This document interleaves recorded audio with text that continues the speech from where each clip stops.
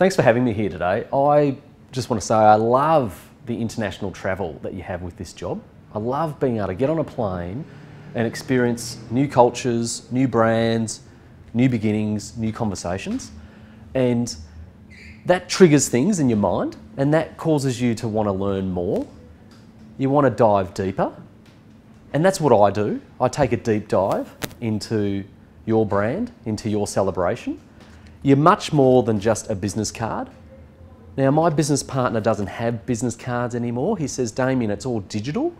I've got a digital footprint that's really rich. You can dive deep on my digital footprint. I think it makes sense, but I seem to be addicted to these things. And I think it's because at the end of these presentations, people say, Can we have your card? Because we want to get in contact with you. And they're still thinking in that traditional mindset. So I think today is about challenging the traditional thinking. This is yesterday, and social is now and the future. And it's about partaking in that journey.